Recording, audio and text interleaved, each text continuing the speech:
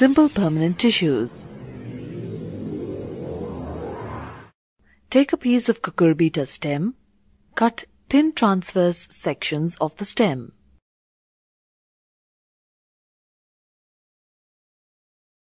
Mount a section on a clean glass slide and add a drop of safranin.